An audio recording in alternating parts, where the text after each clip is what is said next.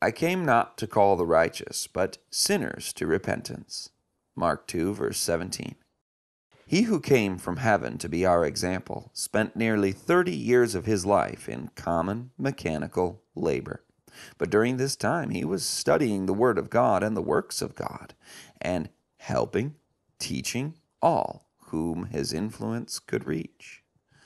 When his public ministry began, he went about healing the sick, comforting the sorrow, and preaching the gospel to the poor. This is the work of all his followers.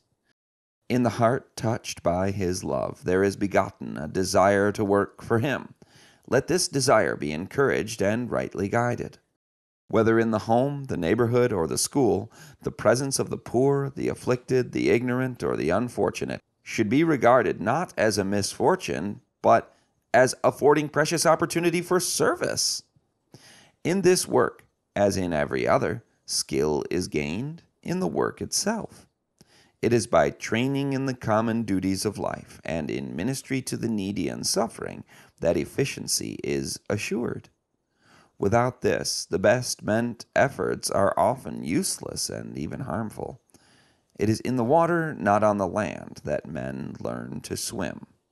The work of Christ was largely composed of personal interviews. He had a faithful regard for the one soul audience, and that one soul has carried to thousands the intelligence received. God takes men as they are and educates them for his service, if they will yield themselves to him.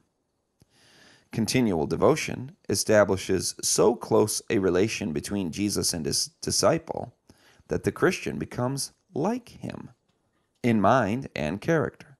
Through a connection with Christ, he will have clearer and broader views.